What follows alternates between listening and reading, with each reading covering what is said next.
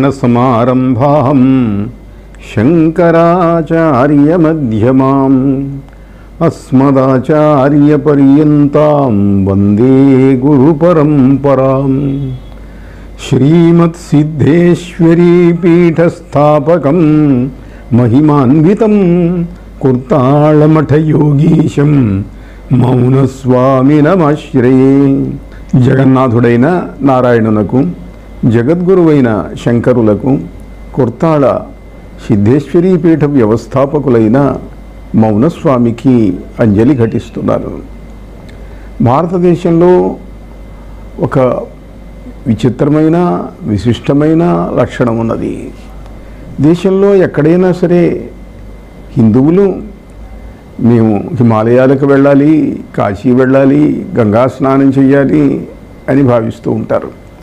దేశంలో ఎన్నో పవిత్రమైన పుణ్యక్షేత్రాలు ఉన్నాయి.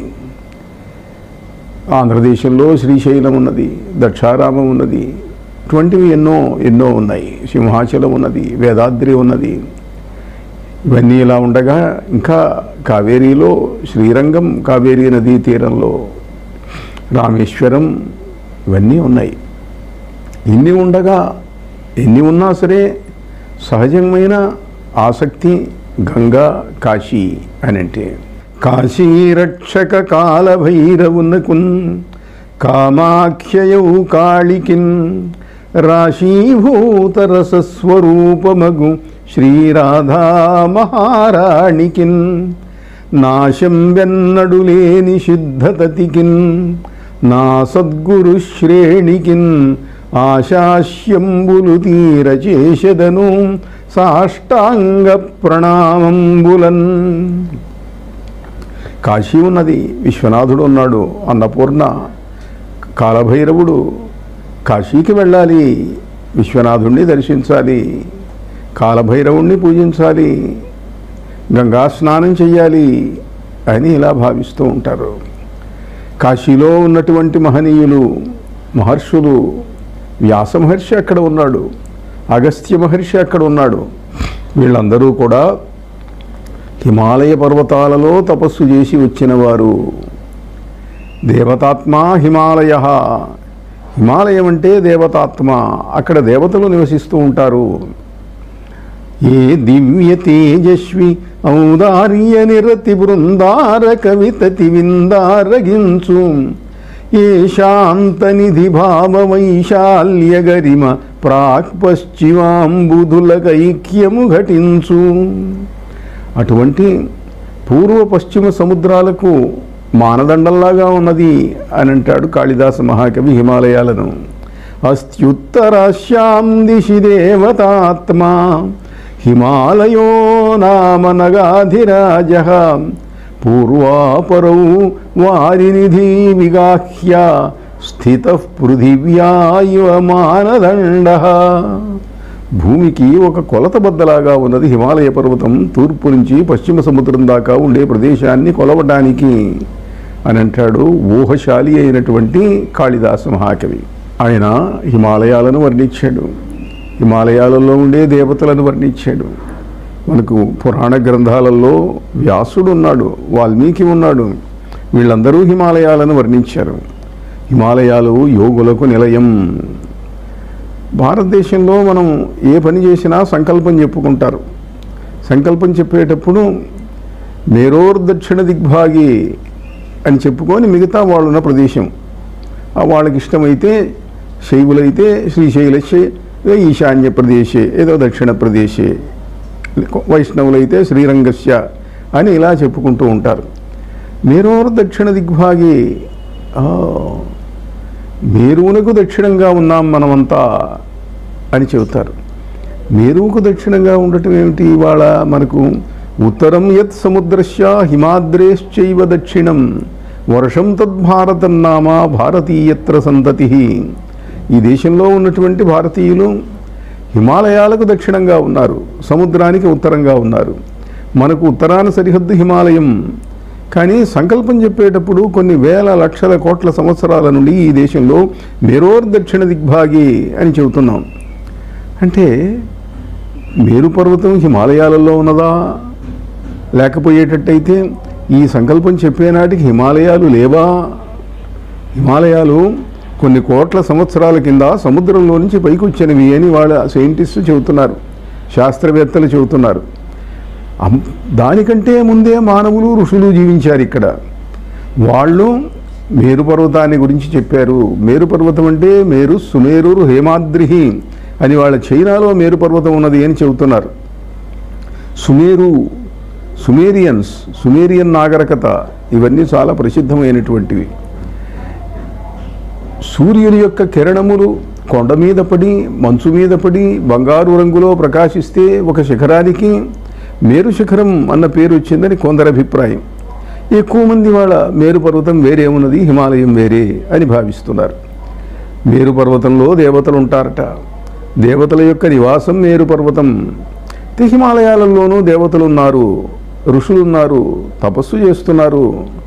అప్పుడు ఉన్నారు ఇప్పుడు ఉన్నారు ఎప్పుడూ ఉంటారు. హిమాలయ పర్వత గుహలలో మహనీయులైన మహర్షులు ఇప్పటికి కూడా తపస్సు చేస్తూనే ఉంటారు. ఆత్మోద్ధరణ కోసం లోక కళ్యాణం కోసం. మహనీయుడైనటువంటి మహావతార్ బాబా ఇవాళ యావత్ ప్రపంచంలోనూ ప్రసిద్ధుడైనటువంటి వ్యక్తి. మూడో శతాబ్దం నుండి భౌతిక శరీరంతో ఉన్నటువంటి వాడు. ఆయన జీవిత చరిత్ర ఎలాగూ చెప్తాను. ఆయన హిమాలయాలలో ఇప్పుడు కూడా కైలాస పర్వతం మీద ఆయన తపస్సు చేస్తున్నా చేసిన గుహ ఒకటి ఉన్నది.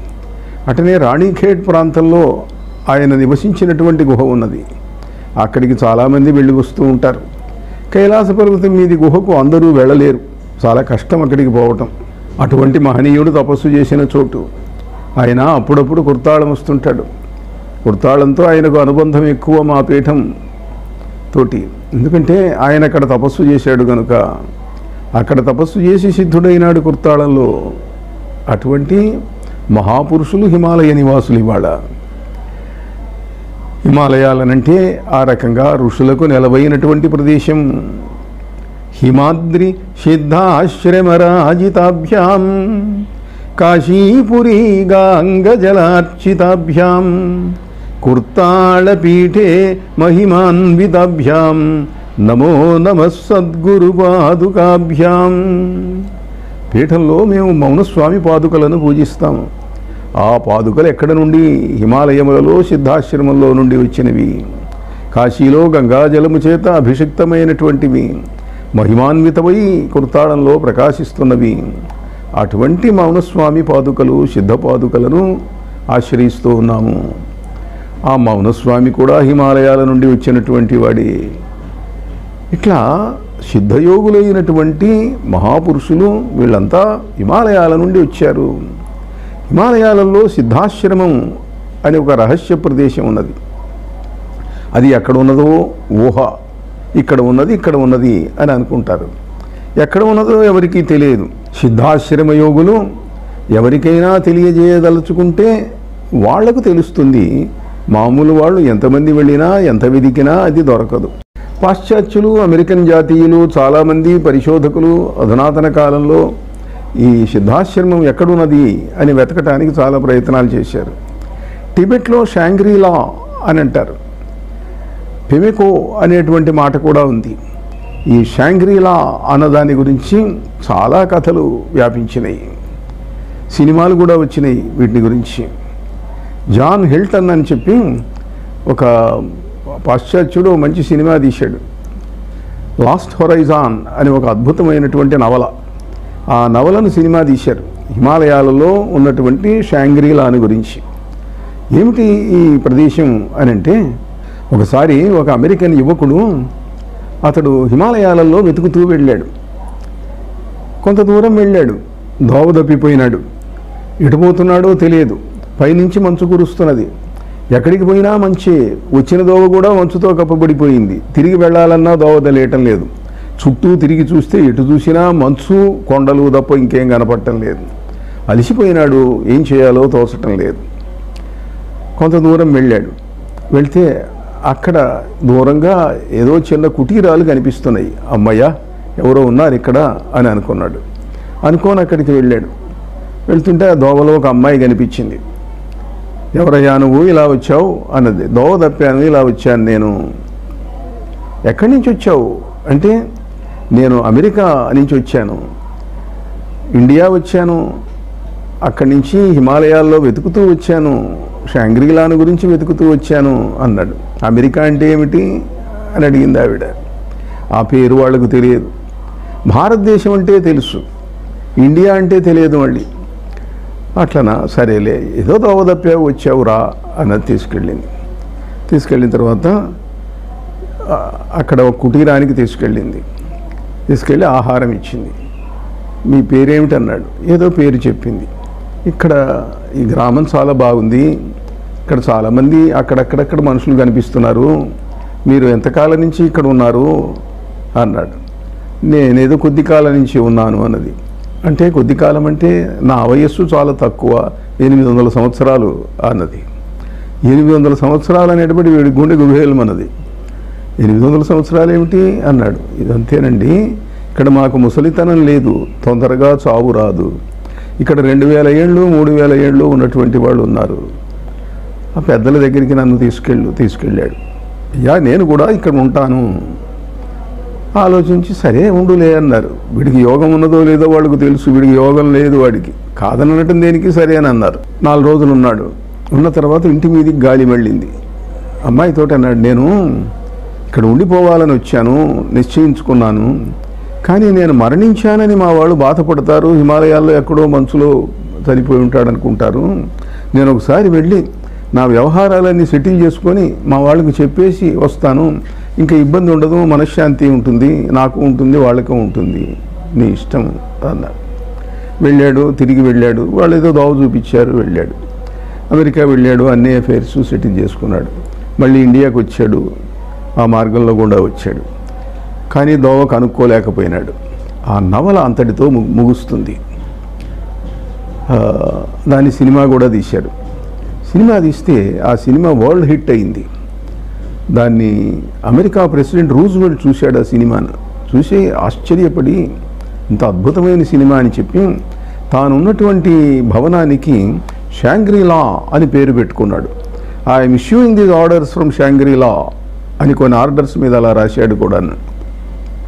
అటువంటి రహస్య ప్రదేశం షాంగ్రీలా.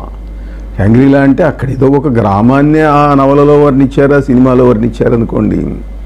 అనేకమైనటువంటి గ్రామాలు ఇటువంటివి ఉంటాయి. కొన్ని వేల సంవత్సరాల వయస్సు కలిగిన వాళ్ళు ఉంటారు అక్కడ.